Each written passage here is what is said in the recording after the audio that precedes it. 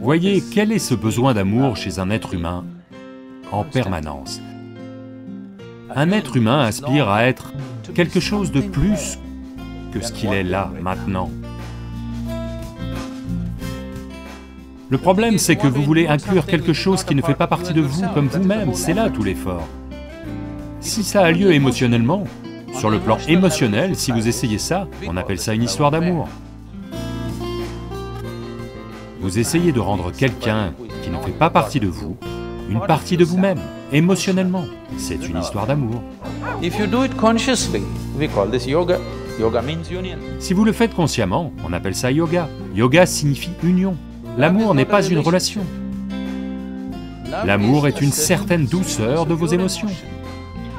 Que vous regardiez un arbre, ou un chien, ou un homme, ou une femme, ou un enfant, ou juste le ciel, pourquoi ne pouvez-vous pas le regarder avec amour Parce qu'il ne s'agit pas d'aimer le ciel, il s'agit de la douceur de vos émotions.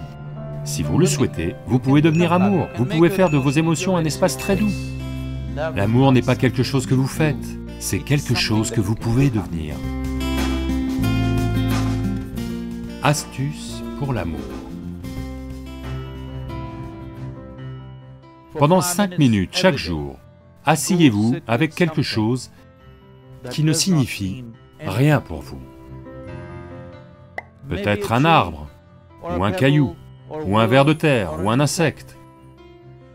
Au bout d'un certain temps, vous verrez, vous pouvez regarder cette chose avec le même amour que vous portez à votre femme, mari, mère, enfant ou chien.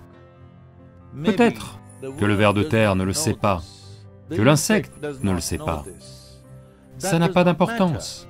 Si vous pouvez tout regarder avec amour, le monde entier explose en un magnifique phénomène pour vous.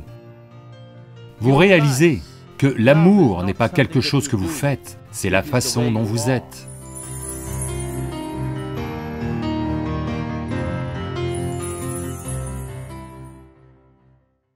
En plaçant vos mains ensemble, les dualités de vos goûts et dégoûts, de vos envies et vos aversions sont minimisées, et il y a une certaine unité dans l'expérience de qui vous êtes.